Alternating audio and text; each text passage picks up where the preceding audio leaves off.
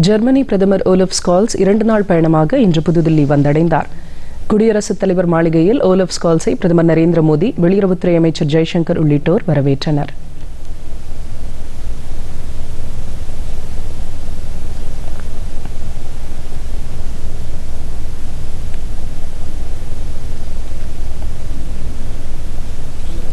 பின்னர் ராணுவ மரியாதையுடன் கூடிய பாரம்பரிய வரவேற்பை ஜெர்மனி பிரதமர் ஏற்றுக்கொண்டார்.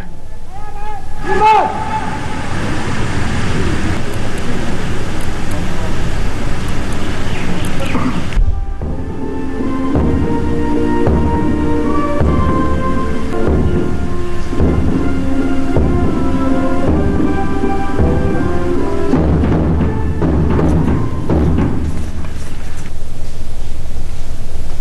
இதன் பின்னர் தில்லியில் உள்ள ஹைதராபாத் இல்லத்தில் நடைபெற்ற உயர்மட்ட ஆலோசனைக் கூட்டத்தில் பிரதமர் நரேந்திர மோடி ஜெர்மனி பிரதமர் ஓலப் ஸ்கால்ஸ் ஆகியோர் கலந்து கொண்டனர்.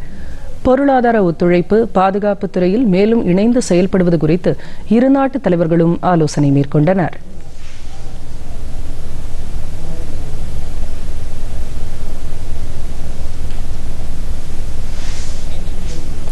ஜெர்மனி பிரதமர் வர்த்தக சந்திப்பு ஒன்றில் பங்கேற்க உள்ளார்.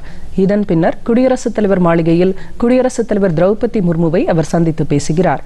இரண்டாவது நாள் சுற்றுப்பயணத்தில் பெங்களூருவில் நடைபெறும் பல்வேறு நிகழ்ச்சிகளில் அவர் பங்கேற்கிறார்.